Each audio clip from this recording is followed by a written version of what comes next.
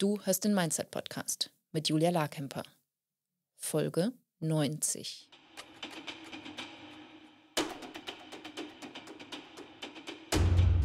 Willkommen zum Mindset Podcast. Hier lernst du, wie du dein Gehirn mehr zu deinem Vorteil einsetzt, souveräner mit Herausforderungen umgehst, in deiner Selbstständigkeit mehr Geld verdienst, produktiver arbeitest und dir letztlich das Leben erschaffst, das du wirklich leben willst. Ich bin deine Gastgeberin, zertifizierte Mindset- und Business Coach Julia Larkemper. Hallo, hallo, hallo zusammen. Heute habe ich ein super spannendes Interview für euch mitgebracht mit äh, Johanna Büth.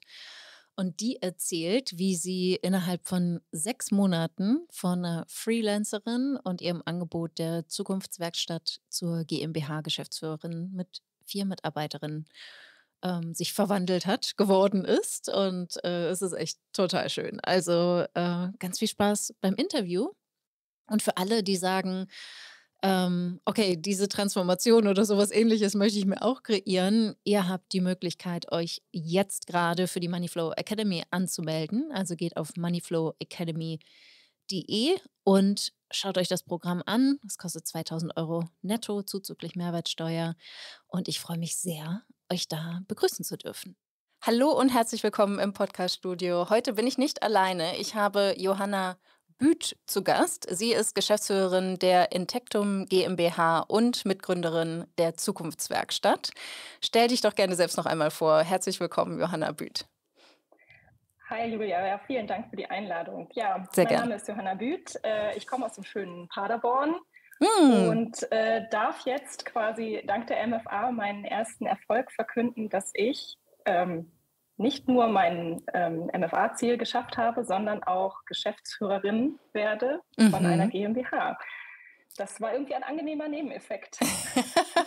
okay, also da musst du auf jeden Fall mehr dazu erzählen. Ähm, wann hast du die MFA, also die Moneyflow Academy, wann hast du die gebucht? Wie lange bist du schon dabei? Ich bin im September gestartet. Mhm. Ähm, da habe ich eigentlich noch gedacht, ich starte nur um mein Produkt, die Zukunftswerkstatt. Das ist ein Produkt, was jetzt auch in der Firma liegt, die ich übernehme, Mhm. ähm, um diese Zukunftswerkstatt weiter nach vorne zu bringen. Wir hatten diese erste Startphase so durch, wo wir äh, in unserem näheren Umfeld äh, Kunden akquirieren und Mhm. wollten jetzt einfach in die nächste Stufe wachsen. Mhm. Und da dachte ich, könnte die Moneyflow Academy gut unterstützen, weil das jetzt auch ein Online-Produkt ist, Mhm. wo wir Leute eben begleiten, ähm, nachhaltiger mit ihrem Leben umzugehen. Ja, spannend. Und ähm, ja, ich dachte einfach, die Moneyflow Academy könnte uns da gut unterstützen. Und dann hat das mit mir im Kopf aber nochmal so viel mehr gemacht, dass Mhm. ich plötzlich dachte, wenn ich meine Vision für die Zukunftswerkstatt anschaue, dann ist das immer ein großes Team dann Mhm. sind das immer mehrere Leute, die zusammen ähm, Großes bewegen und diesen Kurs leiten. Und Mhm. dann kam deine Podcast-Folge zum Mhm. Thema GmbH, ist mir Mhm. nebenbei so vor die Füße gefallen. Ja, mit Sandra ja, Schmidt. Ja, ja. Mhm. genau. Wenn das, wenn das eigentlich mein Ziel ist, warum mache ich das nicht? Also Mhm. warum denke ich nicht gleich größer? Ich habe immer nur für mich und meinen Kollegen, wir machen das zu zweit, Mhm. ähm, gedacht und in dem Moment, in dem dann plötzlich die Idee kam, ja, aber ich kann das auch in der GmbH machen, da ging es plötzlich bei mir auf. Mhm. war mein totaler Mindset-Shift, weil ähm, es gab witzigerweise für diese Zukunftswerkstatt, also wie gesagt, sie liegt in der ähm, Firma, Mhm. ähm, schon das Angebot. Also der Gründer Mhm. und Geschäftsführer will in Rente gehen und hatte schon immer gesagt, er würde das jetzt gerne abgeben. Und da sind vier Mitarbeiter drin. Und von denen wollte das nie jemand machen. Und ich war eigentlich nur als Freelancerin dabei Mhm. und habe das deswegen auch gar nicht für mich so richtig angenommen, weil ich dachte, ja, ich gehöre nicht in die Firma und ich bin Mutter, zwei Kinder. Ja, es geht ja Teilzeit nicht. Sowieso nicht, kann sowieso nicht klappen. Ähm, und ich habe auch BWL nicht studiert. Mhm. Ähm, ich bin nicht, bin nicht mit Zahlen affin. Ich habe da keine Aktien drin. Mhm. Und in diesem Prozess von MFA, von ich übernehme die Verantwortung für überhaupt mein Business und auch meine Entscheidungen und für die Zukunftswerkstatt habe ich das ja auch schon übernommen, Mhm. kam die Idee, nein, ich, ich will es größer, ja, ich, Mhm. und ich kann, ich Mhm. kann das, kann vertrauen in diese Mhm. Fähigkeit, dass ich führen kann, gerade weil ich Mutter bin. Ja. Gerade weil ich schon bereit bin, mich vor andere zu stellen. Und ähm, als du in die MFA kamst, warst du Freelancerin. Du hattest die Zukunftswerkstatt, ähm, die du mit dem Kollegen umgesetzt hast. Und die Idee war, das ein bisschen größer zu machen. Und dann kam gleichzeitig aber, die, also hattest du jetzt eben im Vorgespräch schon gesagt, dass ähm, dieses Angebot, die GmbH zu übernehmen, stand eigentlich schon, aber es kam für dich nie zu, also es war, stand für dich nie zur Debatte, weil dein Mindset noch so ausgerichtet war, dass es nichts für dich ist. Oder ne, deinen Umständen nicht entspricht als Mutter, als ähm, nur Teilzeit verfügbare Freelancerin.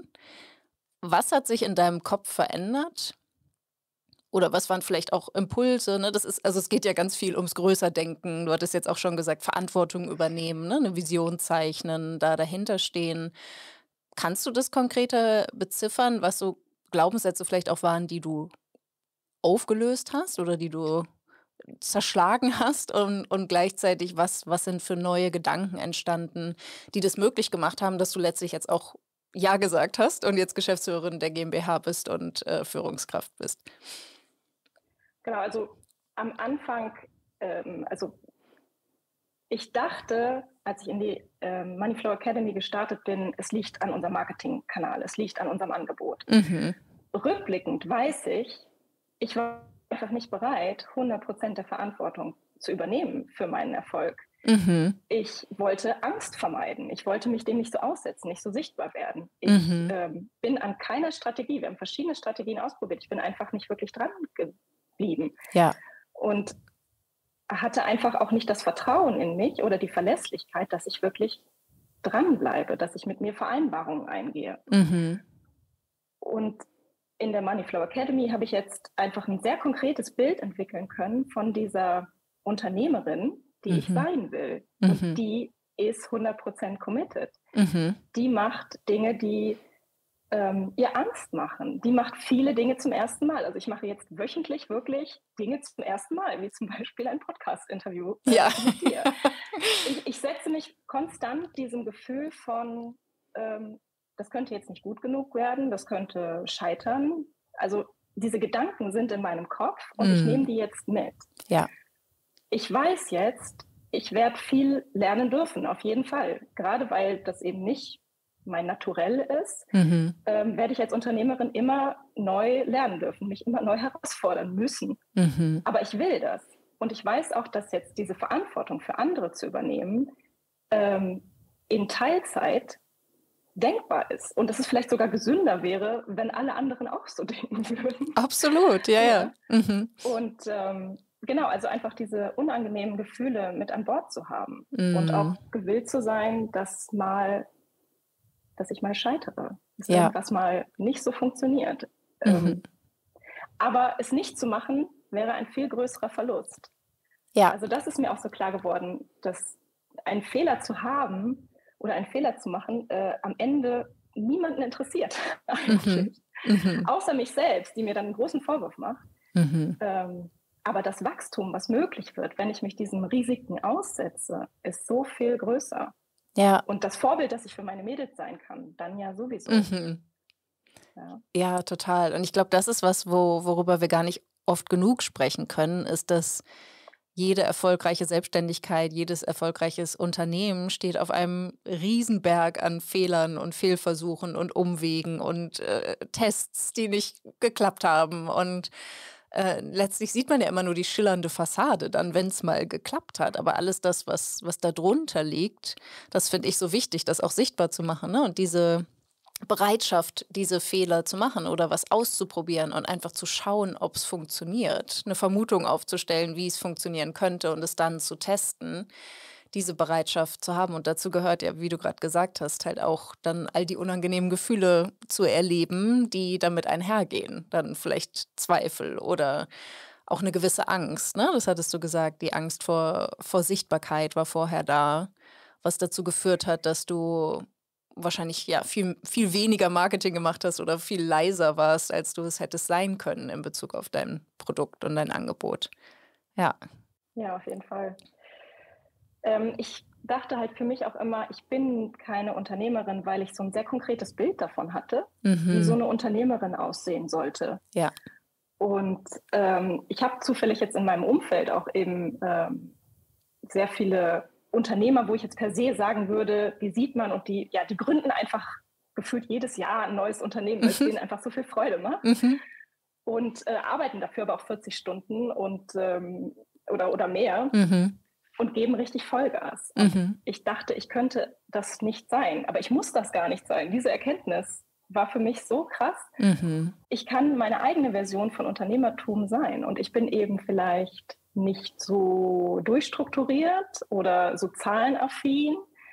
Ich bin kreativer. Ich bin aber auch gewillter, Risiken einzugehen. Mhm. Ich bin bereit, ähm, offen und neu in Frage zu stellen, was da steht. Und das will ich jetzt auch mit diesem Unternehmen machen. Also ähm, die Intectum GmbH liegt so ein bisschen im Dornröschenschlaf gerade. Die arbeitet mit Bestandskunden, aber es fehlte die große Vision. Mhm. Der Gründer, der das äh, initiiert hat, hat ähm, selber jetzt die Rente perspektivisch vor Augen, hat auch schon wieder andere Unternehmen, ähm, die er gerne weitertreiben will und ähm, hatte deswegen auch schon immer gesagt, ja, ich würde das gerne abgeben. Mhm. Kann nicht, sich nicht einer von euch das vorstellen, das zu übernehmen? Und ich komme jetzt und ich habe eine Vision. Ich mhm. habe eine Vision, weil ich eben von außen komme, weil ich nicht äh, aus dem Laden und in, dem, in der Idee von, ich will angestellt sein, komme, sondern weil ja. ich immer schon dieses Bild hatte von mir als Gestalterin.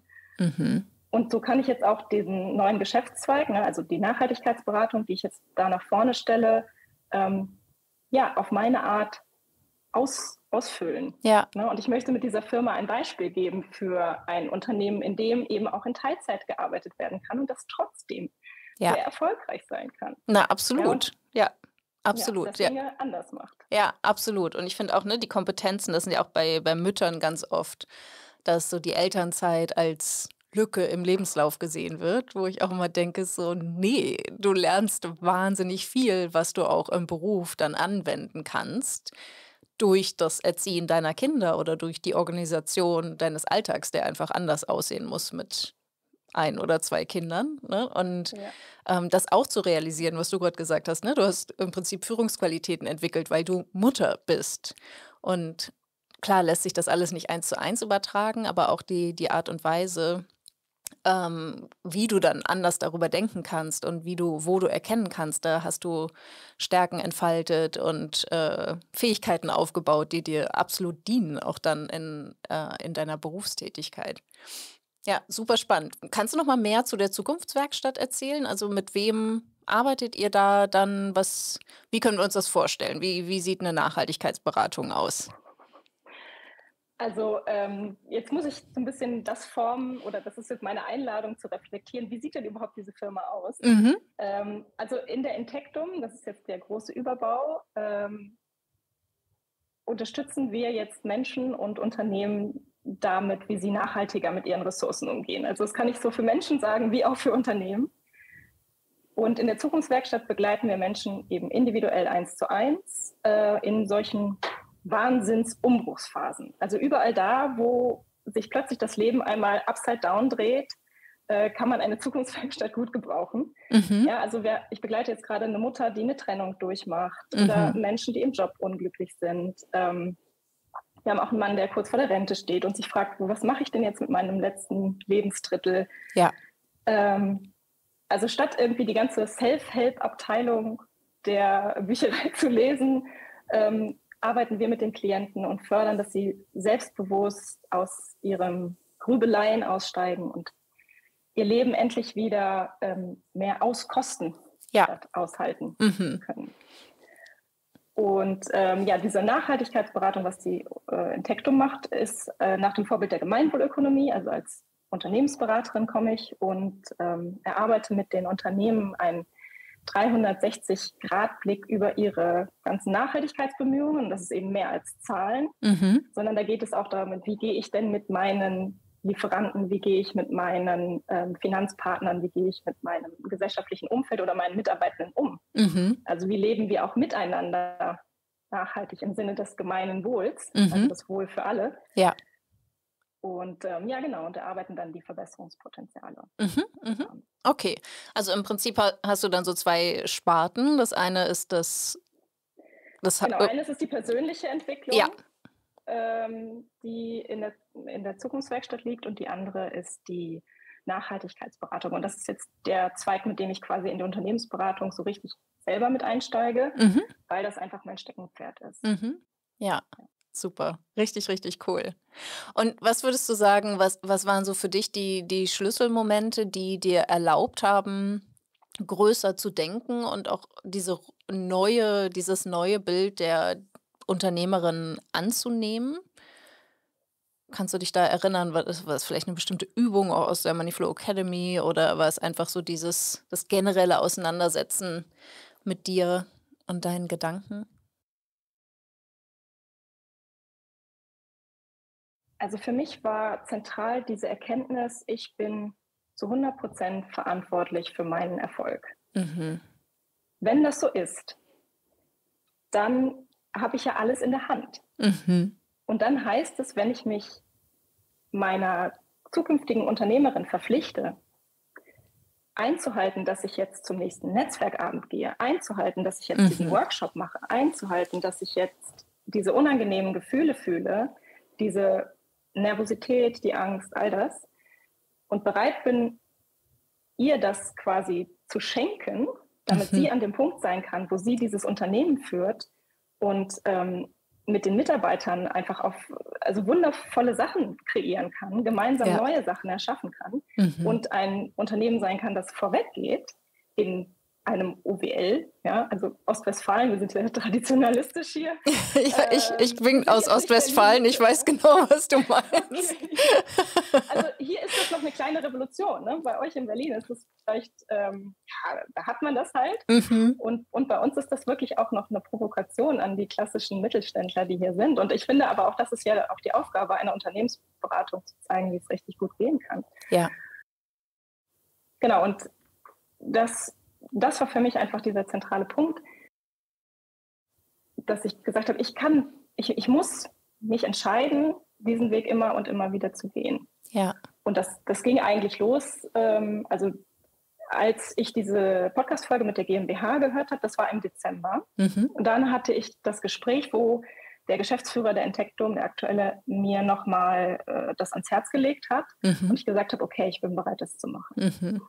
Und dann hatte ich im Januar ähm, eigentlich nicht zusammenhängt, aber hatte ich dann eben einen Workshop für UnternehmerInnen, die ich, ähm, wo ich einfach, einfach kostenfrei einen Workshop gemacht habe. Mhm. Und da sind dann gleich zwei Kunden rausgefallen. Ja. Und das war natürlich schon mal oh, einfach erstmal ein super Gefühl. Und dann ging das aber plötzlich richtig los. Dann mhm. kam ein Jobangebot auf mich zu mhm. für einen 40-Stunden-Job. Mhm. Total toll. Also wäre ein schönes Team gewesen. Mhm. Ähm, ich habe auch gesagt, 40 Stunden könnte ich gar nicht, ja. in Teilzeit. Und dann sagt, ja, alles kein Problem und du kannst dir aussuchen, mit wem du jo den Job teilst. Und es wäre ein tolles Team gewesen. Und da hatte ich nochmal so die Wahl und habe gemerkt, nein, danke, nein. Ja. Ich will das selber machen. Mhm. Ich habe überhaupt kein Interesse mehr daran, angestellt zu sein, weil dann komme ich eben nicht weiter in meiner Vision, sondern dann helfe ich eine andere Vision zu erschaffen. Ja. Und das, das war so mein Initiator, okay, dann wenn ich das jetzt ablehne, dann mache ich es jetzt aber auch richtig. Super. Und jetzt, äh, ja, kann ich sagen, ist das wirklich ein Momentum, das läuft. Mm. Also ich habe jetzt letzte, letzten Monat ja ähm, schon meine 5000 Umsatz gemacht. Yes. Diesen Monat habe ich die auch schon. Mhm. Nächsten Monat ist die Strategie klar, dass das auch klappen kann. Ja. Und jetzt bin ich plötzlich in einem vollkommen neuen Normal, was ich mir am Anfang des Jahres noch quasi sehnsüchtig erträumt habe. Ja. Und jetzt versuche ich diese Welle erstmal zu surfen, ja. zu verstehen. Deswegen bin ich hier auch noch so ein bisschen im Findungsprozess und danke für die Einladung zum Podcast, das zu reflektieren. Ja.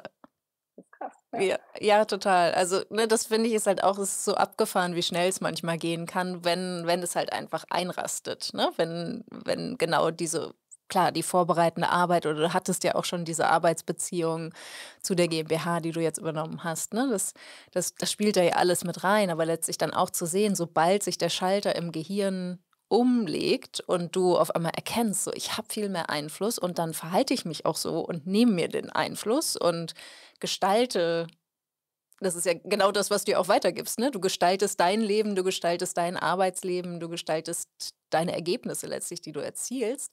Und es dann aber auch zu erleben und zu sehen, das funktioniert, das kann auch ganz schön Angst machen. so, ne? Das ist halt echt kraftvoll. Und diese, ja. diese eigene Kraft zu erkennen. Ne? Also das ist ja genau das, das ist ja auch mein Warum, ne? warum ich losgehe und sage, das ist das, was ich auch weitergeben möchte und, und vermitteln möchte, wie viel mehr Einfluss ihr jeweils nehmen könnt und dann auch die Beispiele wie bei dir jetzt zu zeigen, ähm, wie schnell das gehen kann. Ne? Du kannst, also wir haben ja als Ziel erstmal die 2000 Euro zurückzuverdienen innerhalb von 30 Tagen. Es schaffen viele, es schaffen aber auch nicht alle. Ne? Und dann zu schauen, nee, aber das, was ihr ja eigentlich wollt, sind diese kontinuierlichen 5000 Euro Umsatz, um dann beim Jahresumsatz von 60.000 Euro zu sein, was erstmal schon eine schöne Base ist, ne? so ein schöner, schöner Meilenstein und dann darf es ja auch noch weitergehen. Aber ne, das wirklich zu kreieren und das zu erleben und zu sehen, so, wow, das ist, ich kann das ausrechnen und dann mache ich das, von, von dem ich glaube, was dazu führt, dass, dass dieses Ergebnis wirklich kreiert wird und habe diese neue Identifikation einer Unternehmerin angenommen und bei dir ja auch, ne, sofort jetzt die, die Umstände sind ja jetzt tatsächlich auch ganz anders. Ne? Du bist jetzt halt auch rein faktisch wirklich schon Unternehmerin als Geschäftsführerin der GmbH. Und, ähm, und dann aber ne, das, das im Prinzip auch zuzulassen und dir zu erlauben, dass diese Ergebnisse zu dir kommen, das ist ja auch ein Prozess. Den, ne, das Annehmen, Lernen. Ja, das ist jetzt meine nächste größte Herausforderung mhm. in der Money Flow, äh, das Feiern zu lernen. Ja. das war total schwierig. Ich habe ewig auf diesen Erfolg geschaut und gedacht, ich will das auch. Ich habe dich gehört, wie du das gesagt hast, dass das möglich ist. Und ich dachte, ja, Julia, vielleicht für andere, aber doch nicht für mich. Also ich habe wirklich gedacht, nee, also ja, das ist eine schöne Geschichte, das kann man in einem amerikanischen Film erzählen. Ja. Und jetzt stehe ich da und dachte echt so, okay, ja, wie, wie kann ich das jetzt, wie kann ich das jetzt feiern? Wie kann ich das jetzt anerkennen? Mhm. Denn jetzt kann man sagen, okay, das war jetzt auch natürlich ein glücklicher Umstand, dass da zufällig so eine GmbH war, wo wirklich jemand gesagt hat, bitte gibt es hier jemanden, der das führen möchte. Mhm. Aber deswegen ist die Arbeit für mich ja nicht auch nur einen Schritt leichter, nur weil ich diesen Schritt schon gemacht habe, sondern ich muss ja trotzdem alle Schritte jetzt weitergehen. Ich muss alle Lernerfahrungen machen mhm. und äh, ja, ich, ich habe keine, keine, äh, keinen Welpenschutz in dem Sinne, ja. sondern ich habe nur, ich bin nur bereit zu sagen, okay, ich springe jetzt im Außen schon mal und ich mhm. gucke mal, dass mein Inneres jetzt auch nachkommt. Absolut. Ja, und das, ne, das ist mal ist es so, dass, dass erst das Innere bereit ist und dann kommt das Ergebnis oder umgekehrt. Ne? Manchmal ist das Ergebnis da und dann dürfen wir da hineinwachsen und beides funktioniert. Und ähm, ja, ich glaube, was, was halt so spannend ist, ist ja auch, dass, ne, wenn du sagst, ich habe keinen Welpenschutz mehr oder ich mache das jetzt einfach, obwohl ich vielleicht noch nicht zu 100 Prozent erfasst habe, was jetzt alles wirklich dazugehört oder ob ich das wirklich kann. Ähm, meine Erfahrung ist, das geht eigentlich fast allen Unternehmen so. Ne? Also es sind ja, also klar, ne? einige haben mehr Erfahrung als andere und äh, dann ist man vielleicht irgendwann ein alter Hase und hat alles gesehen oder fast alles gesehen, aber wir sind ja auch durch die technologische Entwicklung immer wieder neuen Umständen ausgesetzt. Ne? Oder die Gesellschaft wandelt sich und dann dürfen wir uns anpassen. Das ist ja ein stetiger Wandlungsprozess, aber ich, ich habe so das Gefühl, wir vergleichen uns halt immer mit Menschen und, und ähm, glauben, dass die anderen halt alles viel besser wissen und alles total checken und nie Fehler machen und so total abgebrüht sind und dabei stimmt es halt gar nicht. Und das finde ich halt auch immer wieder so spannend zu sehen, so, so ach ja, das sind ja auch nur Menschen. Ne? Die haben auch Gefühle, die haben auch ähm, limitierende Gedanken, die haben auch irgendwann mal angefangen, denn das das ist auch so schön, äh, wie du das sagst, dieser, dieser Grundgedanke, ich kann das lernen. Ich traue mir zu, dass ich das wirklich alles auch, ähm, auch wenn ich kein BWL studiert habe, dass ich mir das alles aneignen kann. Und was braucht es denn eigentlich wirklich? Ne? Was sind die Charaktereigenschaften einer erfolgreichen Unternehmerin und kann ich die nicht auch ohne ein BWL-Studium verkörpern? Genau. Und da würde ich auch nochmal an alle Mütter da draußen appellieren. Ähm, das ist die beste Schule des Lebens, weil äh, also Improvisation, wenn es darum geht, ne, wenn sowieso keiner die Antwort hat, dann kann ich es ja auch mal riskieren. Ja. Und das ist ja mit Kindern ganz genauso. Also jeden Tag bin ich gefordert, mich wieder darauf einzustellen, auf Umstände, die ich nicht kreiert habe, mhm. die von mhm. außen an mich herangetragen werden, aber für die ich verantwortlich bin. Ja. Und im Prinzip ist es nichts anderes.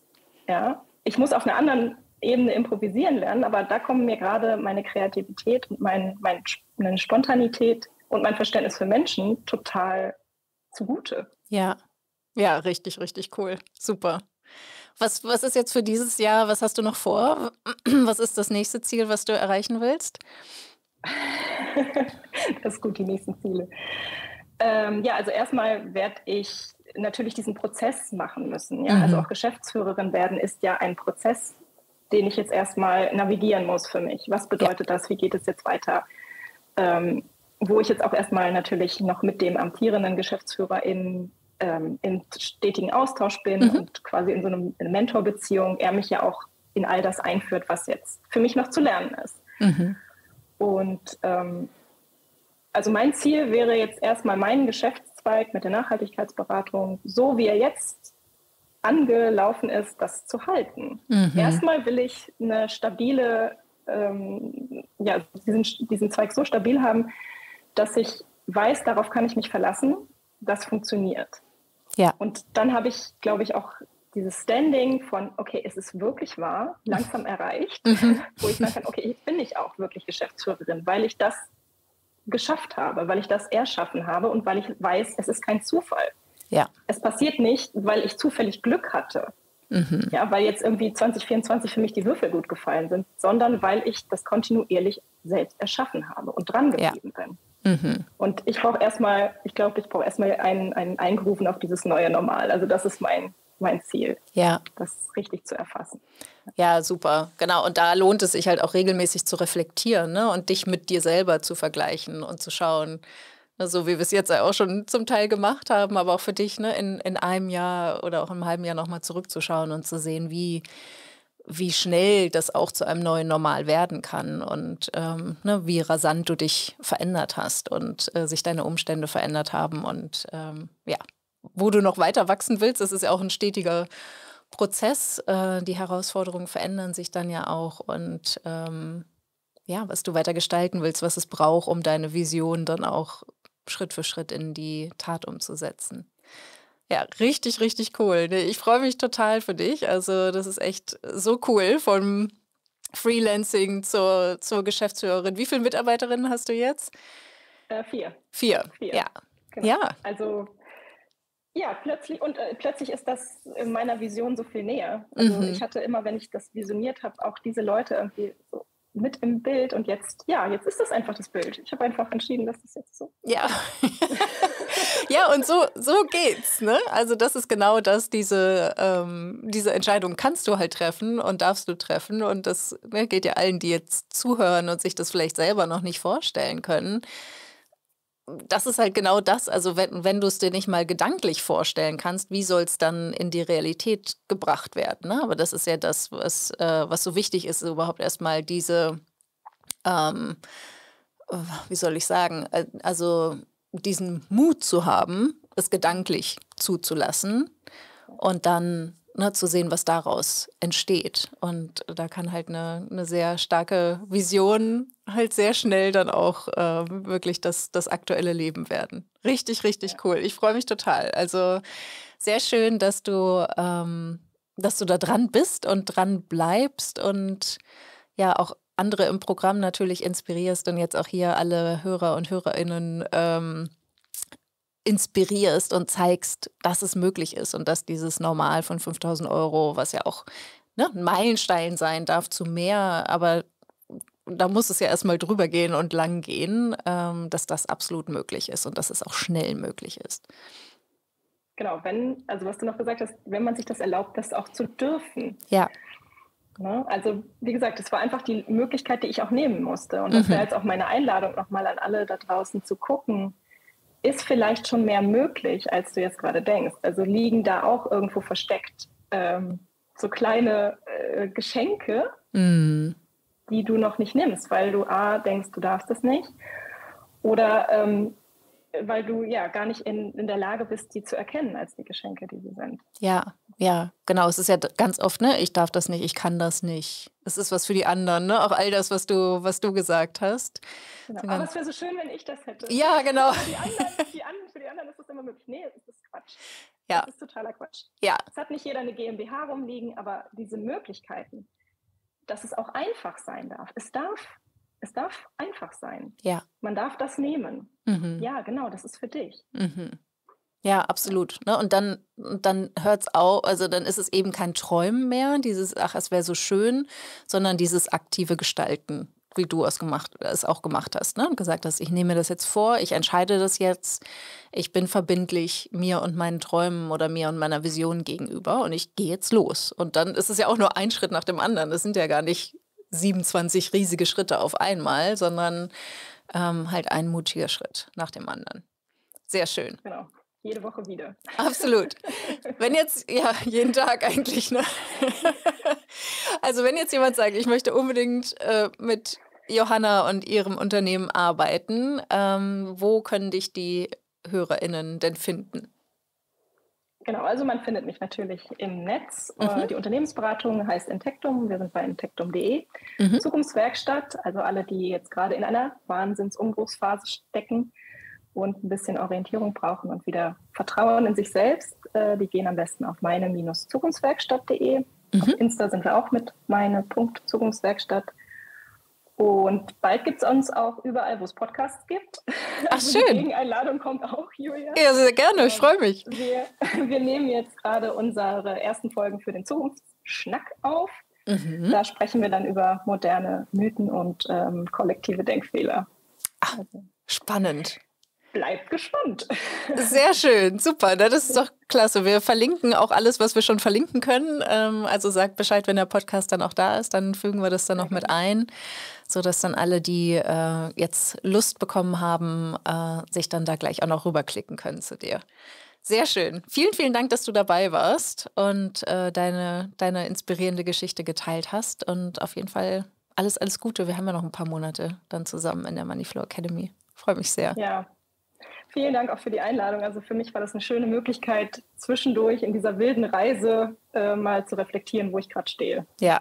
Echt schön. Vielen cool, Dank. sehr gerne. Super. Wenn dir dieser Podcast gefällt, willst du meine Mindset-Impulse als Newsletter nicht verpassen. Wenn du dich unter julialarkemper.com slash newsletter anmeldest, bekommst du Tipps dazu, wie dein Mindset deinen Kontostand beeinflusst – wie du deinem Gehirn ein Update verpasst, damit der Umgang mit Geld für dich entspannter wird und was genau Brückengedanken sind und wie du sie für dich nutzen kannst. Du bekommst jede Woche frische Mindset-Tipps, um aus deinen Gewohnheiten auszubrechen und dir bewusst und aktiv ein Leben mit weniger Stress und mehr Geld aufzubauen.